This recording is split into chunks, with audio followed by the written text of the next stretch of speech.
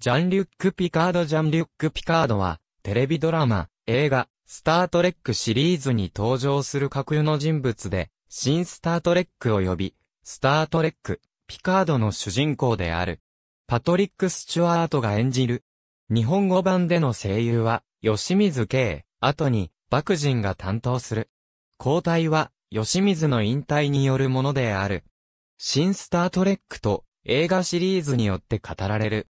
フランス出身の地球人。2305年生まれ。モーリス・ピカードの次男として生まれる。惑星連邦の宇宙艦隊大佐で USS エンタープライズ D 及び E の艦長を務めた。本人は冒険家を自称している。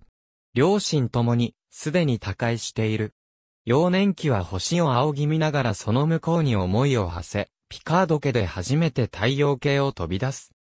兄のロベールが地球の実家で妻と共に家業のワイン製造業を継いでいたが、2371年、火災によって兄のロベールと甥のレネを失い、ジャン・リュックは大きなショックを受ける。ロベールは、防具との交戦で昇進したジャン・リュックが、その苦悩と悲しみを打ち明けられた唯一の人物であり、レネは宇宙艦大使館に憧れるピカード家の唯一の跡取りだった。少年時代は兄のロベールが羨むほどの成績トップ、宇宙艦隊アカデミー時代も優等生ではあったが、自信過剰で血の気が多かった。アカデミーを卒業して、すぐ、脳死肝人らとの死闘騒動を起こす。その際に心臓をナイフで貫かれて、瀕死の重傷を負い、人工心臓を移植される。実は、宇宙艦隊アカデミーの受験に一度失敗しているが、そのことは、ウェスリー・クラッシャーにしか話していないようである。大位時代、ブリッジ士官を務めた USS スターゲーザー NCC-2893 で、当時の艦長の殉職を機に、後継の艦長として28歳で艦長に就任する。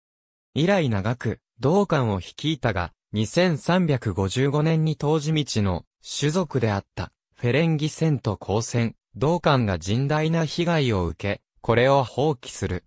その時に取った戦術は、ピカード作戦として宇宙艦隊の学校の教科書にも記載されている。2364年、ギャラクシー級最新鋭艦、USS エンタープライズ NCC-1701D の艦長に就任する。2366年以降、クリンゴン帝国総裁の後継争いに巻き込まれた結果、当時のクリンゴン最高評議会の総裁クンペックやその次に総裁となったガウロンといったクリンゴン帝国の重鎮に歌詞を作ったため帝国に顔が利くようになる。後にクリンゴンの戦艦を借りる時などにそのコネクションを最大限利用する。部下であるウォーフのために弁護人を務めたこともある。これらはピカード自身が翻訳機なしでクリンゴン語を話すことができ、クリンゴン文化に詳しいためにできたことであり、彼の外交官としての有能さを示すものであるという描写がされている。2367年、危険な適正種族防具集合体は、惑星連邦侵略の際にジャン・リュックを拉致し、彼は防具に改造される。防具は、彼の戦略的知識や交渉能力が惑星連邦侵略に必要と判断したためで、彼は防具の上級ドローン、ロキュータスにされ、防具の代弁者として仲間の宇宙艦隊と対峙させられる。この時、ウルフ聖域で防具戦と戦うために結集した40隻からなる宇宙艦隊艦のうち39隻が破壊される。エンタープライズの艦長を引き継いだウィリアム・ライカー副長の戦術によって救出され、防具戦も破壊されるが、この経験はジャン・リュックに大きな心的外傷を与える。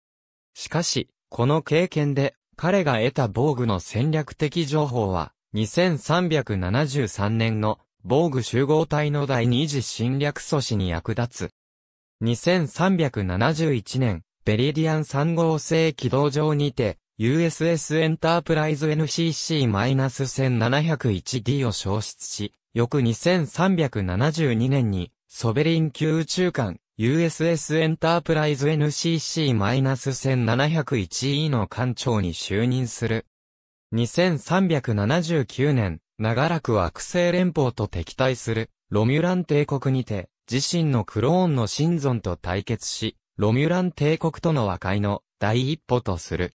スタートレック、ピカードによって語られる。2387年の超新星爆発による、ロミュラン帝国母星、ロミュラス崩壊の前には、提督として、副長のラフィと共に、ロミュラン人救出作戦を指揮する。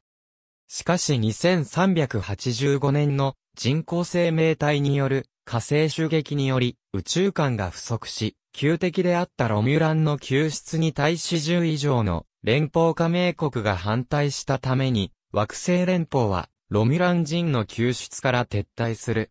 ピカードはこれに抗議して辞職する。辞職時の階級は大将である。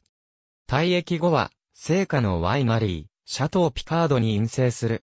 2399年、火星襲撃を受けて、連邦では人工生命が禁止される中、殉職したデータ照査からクローニングで作られた有機体人工生命の女性、ダージンに助けを求められる。しかしダージは、ロミュラインの秘密警察、タルシアの中の秘密組織、ジャットバッシュに暗殺されてしまう。ダージンに、ソーセージの片割れ、掃除がいることを知ったピカードは、富士の難病、イルモディック症候群を抱えながらも、窮地のつてをたどりフリーランスのリオス船長の小型宇宙船、ラシレーナで、ラフイ、ロミュラン人のゴエエルノア、人工生命研究者のアグネスと共に地球を離れる。セブン・オブ・ナイン、ヒュー、ディアナトロイ、ウィリアム・ティー・ライカーらに助けられる。そして、休眠した、ボーグキューブで、ソージに出会う。人工生命を憎むジャット・ヴァッシュが、火星襲撃を引き起こし、人工生命の禁止を招いたことを知る。人工生命たちが製作されて住む惑星、コッペリウスに来る。ソージら人工生命たちは、高度な人工生命に接触して有機体に対する破滅的な戦争を始めようとするが、ピカードは説得してやめさせ、タル・シアーの艦隊も宇宙艦隊を前にして引き下がる。ピカードは病死するが、意識を新しい人工の有機体に転送される。シミュレーションに保存されていたデータの意識と再開し、望み通りに死を与える。その後、掃除やセブンオブナインを乗せて、ラ・シレーナで出発する。趣味は、考古学と乗馬で、休暇時に古代文明の発掘調査に行くほか、館内にまで自分の蔵を持ち込んでいる。宇宙考古学の他にも、哲学、歴史、芸術などに造形が深く、よく、ウィリアム・ライカーやウェスリー・クラッシャーに宇宙考古学を勉強した前などと言ったり、発掘調査で発見した遺物をウキウキしながら部下に見せたりする。館長室の水槽では、リビングストンと名付けたミノカサゴを飼っている。アールグレー紅茶を好み、エンタープライズのフードレプリケーターに、TR グレーホットと注文するシーンがよくある。このレシピは当初ライブラリーに入っていなかったため、自分で作成した。また、実家のワイン農園産のシャトーピカールという銘柄のワインを特別な時に部下と飲む。ホロデッキでは架空の探偵の役やシェイクスピア劇を好んで演じ、部下に芝居の助言をしたこともある。読書はパッドではなく古典的な紙の本を好む。館内のバーで時折開催される演奏会には、列士間フルートで参加する。絵画をたしなむこともあったが、決して達者ではないようで、データに作品を酷評されていた。苦手なものは小動物、子供、旧、及び部下の母親である、ラクサナトロイであるとされている。上陸任務を好む。短距離ワープによって敵艦を幻惑するピカード戦法を編み出すなど、冷静沈着で名指揮官と名高いが、頑固で融通の効かないところもある。父モーリスは厳格な人物、兄ロベールは頑固な宇宙嫌いで、ピカードと仲が悪い。厳格で頑固なのは、ピカード家の血筋であるとのロベールの妻、マリーのこともある。それに、兄もハゲ頭なのでそれも、ピカード家の遺伝かもしれない。ピカードのハゲ頭は、作品内でもたびたびネタにされる。独身で通してきたが、親密な仲になった女性がいないわけではない。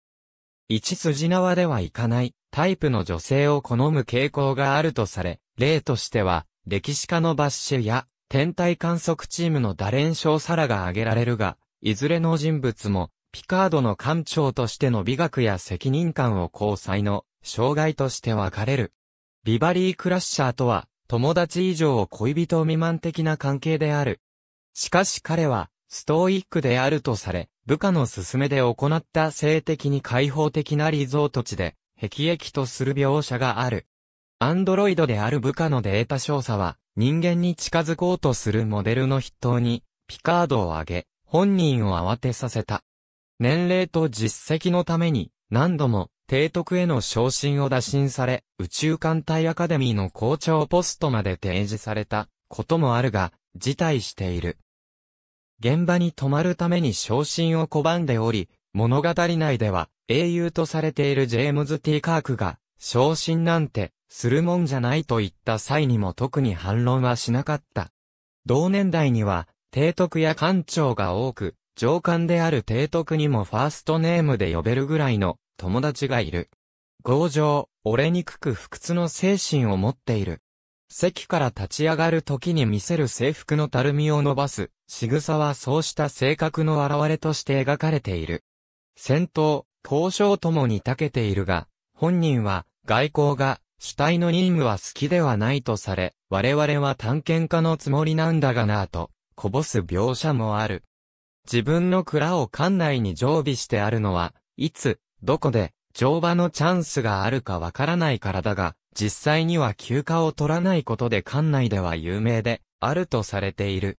エンタープライズに乗り組んでいる、主な士官たちの中で、なぜかピカードだけ、新スタートレックのシリーズの最終回以外では、ポーカーゲームに参加しない。他の、スタートレック作品の主人公と最も多く、共演している。